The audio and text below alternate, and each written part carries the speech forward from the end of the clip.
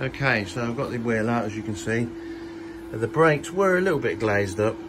I've cleaned them up with, uh, with some sandpaper and I used some emery cloth to clean up the, uh, the brake drum and washed it through with some brake cleaner. And I had a mask on when I was when I was cleaning this up and all the little the debris was here which now, now hoovered up with my uh, Henry Hoover.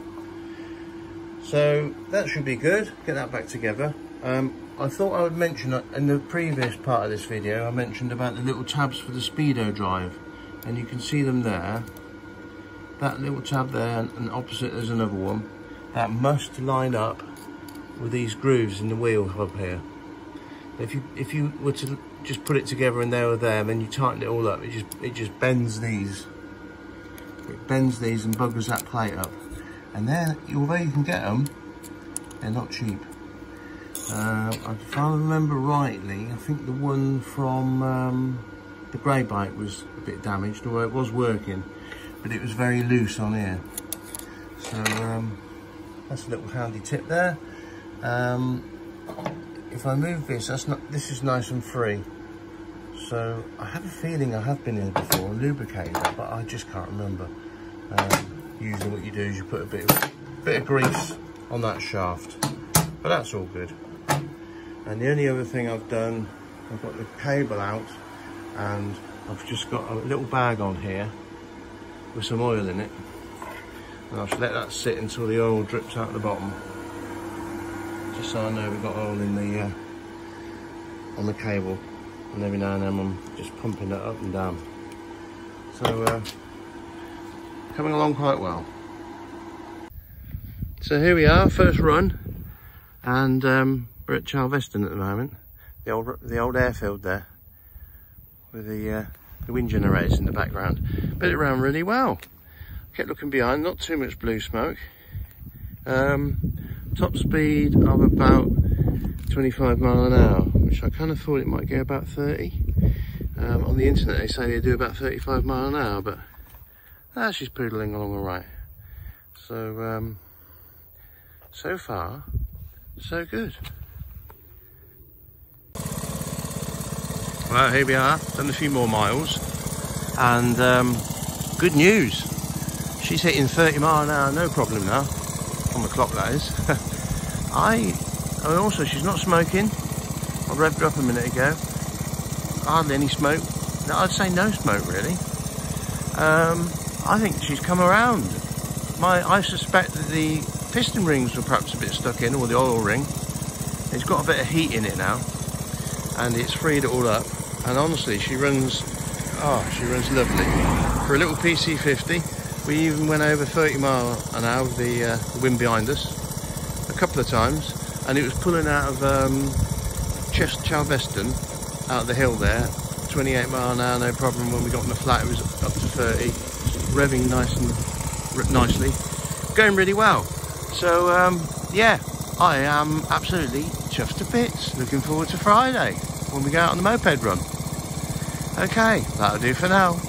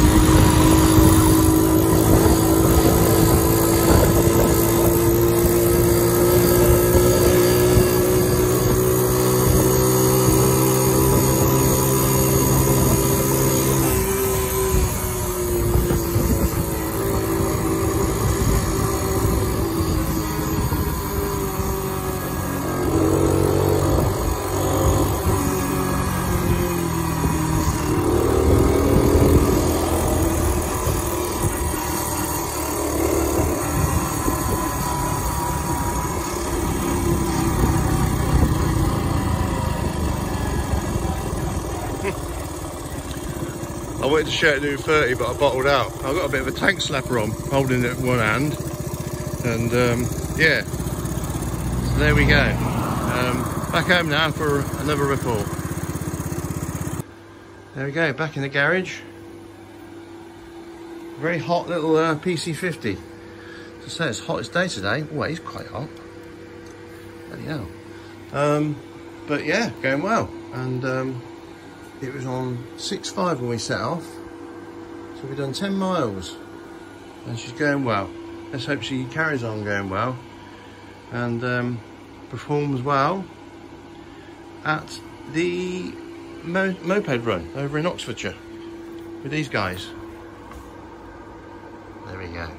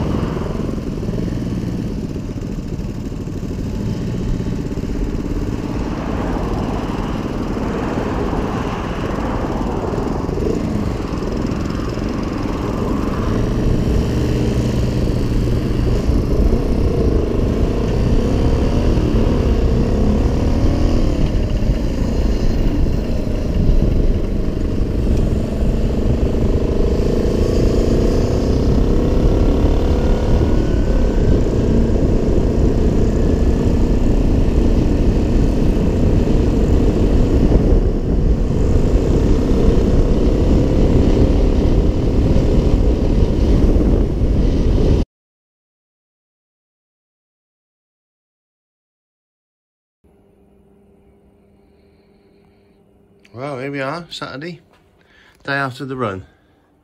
And um, it went well. 40 mile run on uh, various mopeds and I was on this one. So what we did find out is a, a nice reliable little bike. However, it is an oil burner and it did use quite a bit of oil. So um, I need to strip down the head uh, or the, the, take the head off and the barrel and um, check the valve guides and stuff. But um, I'm going to leave, leave that for another video. And also it did, it did become apparent that um, on the front here, I, I had, I've got new bushes in, in the front here, but the ones at the back were slightly worn. But um, if you remember rightly, I, I left them as they were because I couldn't get them at the time.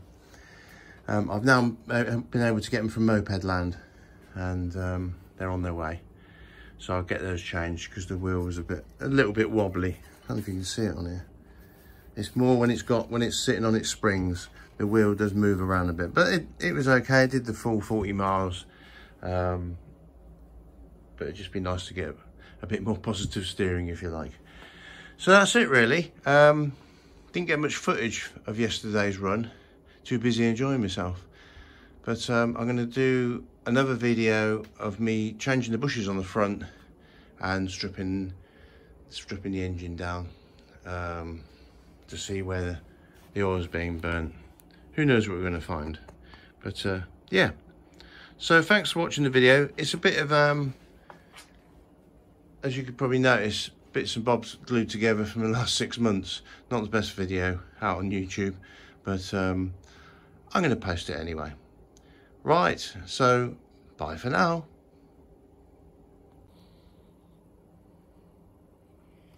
Hi folks, only me.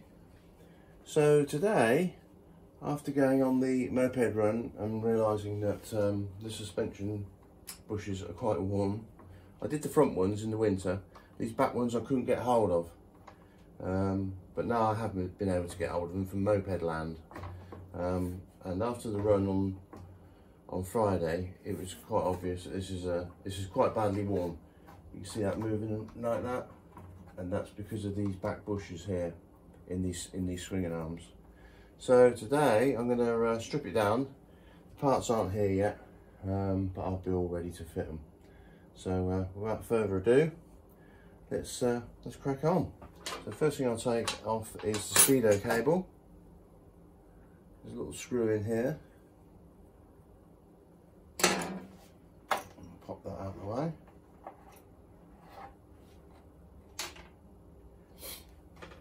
And then if I loosen off the, the brake cable, I should be able to release the cable from the arm. So it's a 10mm spanner to hold the outer cable and a 12mm for the adjuster. Now bring that right back to the, um, the flats on the cable.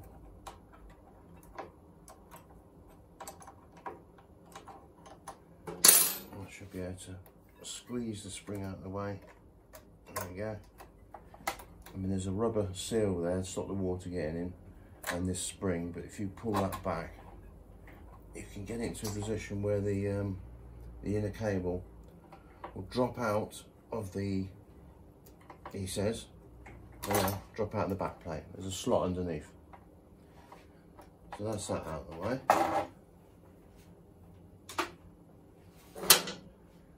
Now, I would say the next thing is undo the, uh, the axle bolt. 17 on the nut.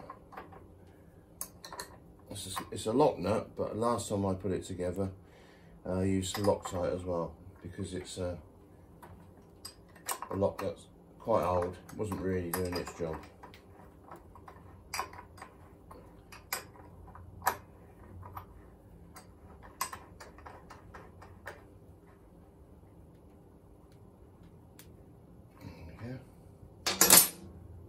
push that out. Then you can take the little spacer out. he says, if I get the bolt out enough. Little spacer there. And that allows you to push the wheel this way, take the bolt all the way out, holding the back plate in.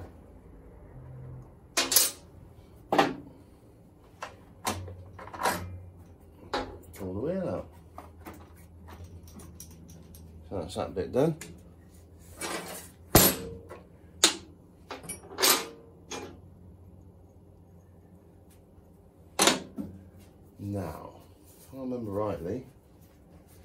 10 mil.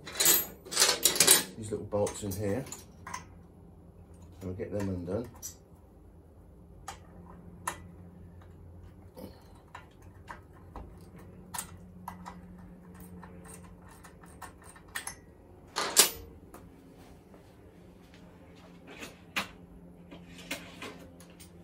And that's on the inside. So I'm just going to hold them with these uh, long nose pliers.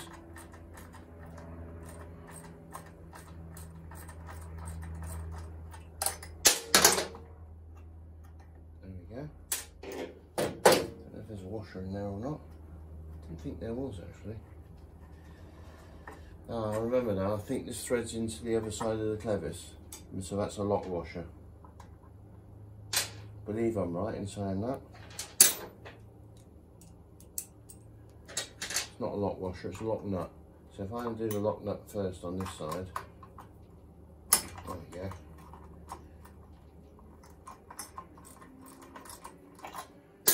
And I'll hold it with a long nose.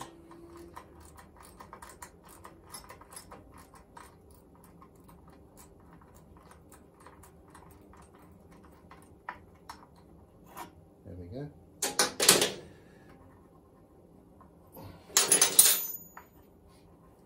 If you see that or not.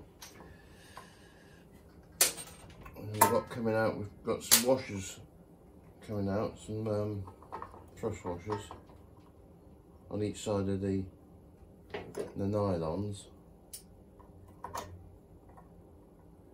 Remember I made those actually.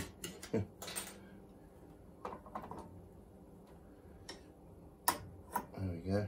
They're not they're not factory ones, but I think they'll work. Let's see, because I don't think I'm getting the new washers, I'm just getting the bushes. So that's that. So now that's disconnected the, the swinging arm from um, from the spring and the clevis on both sides. So I'm going to undo this bolt now which holds the back bush, which is the one that's quite worn and giving me all the problems um, and it also holds the mud guard on. Um, so for that, I think I need a 12. Is it a 12? Yes, a 12. And loosen it off. Loosen the nut off first. Okay.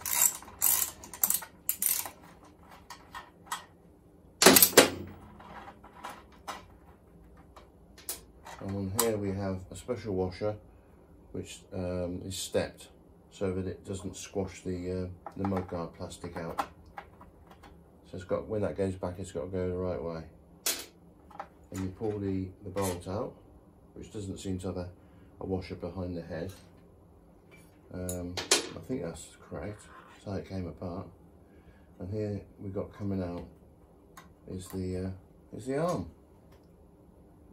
and um, there's a there's a bush in here, steel bush, which hopefully we'll be using again if it's not too worn. Doesn't seem to be worn.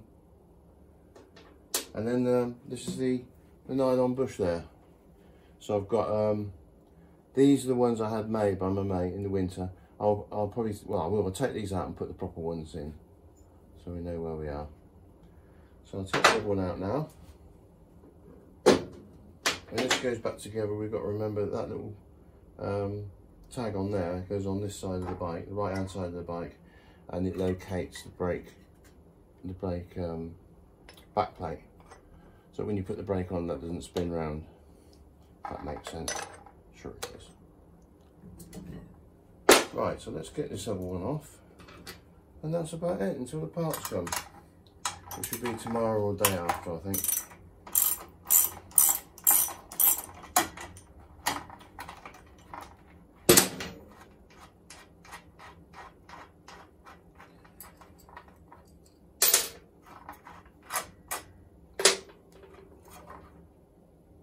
There we go.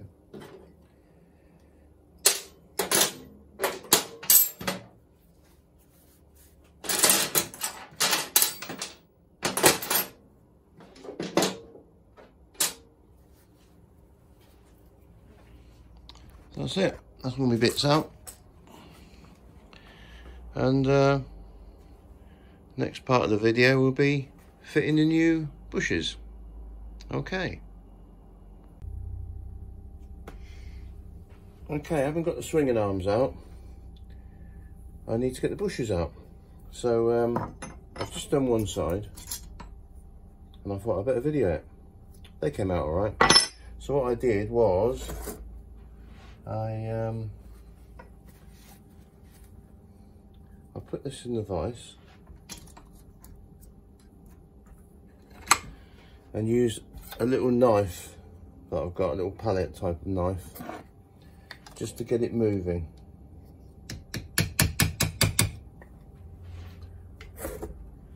The light isn't that good in here, but if I open the shutters, it, you get too much light in from the uh, from the sun. Think this is just to get in there and, and start it moving. Should come out all right, it's only nylon. And then I've got a couple of screwdrivers, little flat blade screwdrivers, and you should be able to just twist this bush out. There we go. It comes out right. And then I've got a socket that will fit in here to knock the other one out.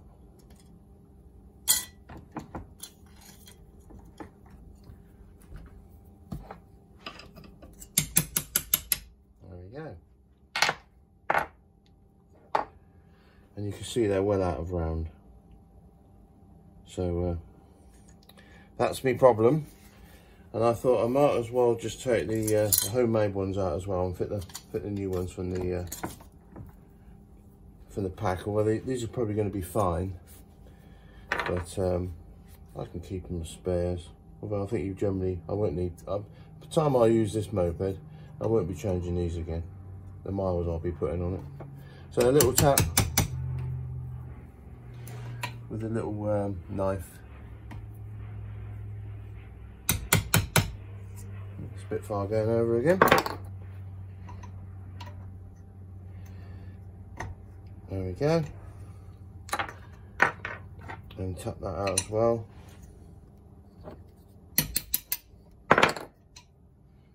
And we are now all ready to fit the new ones. I should give that a quick, uh, quick cleaning here.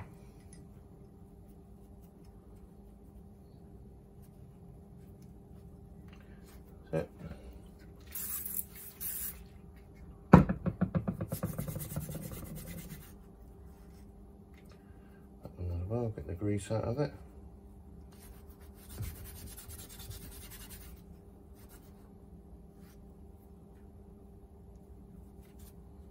There we go. That's good. Two arms, waiting for bushes.